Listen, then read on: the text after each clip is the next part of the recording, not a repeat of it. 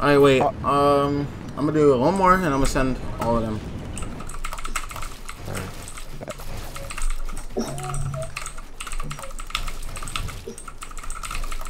Yeah, I turned motion blur on. It's like my bills look so much smoother, but I do.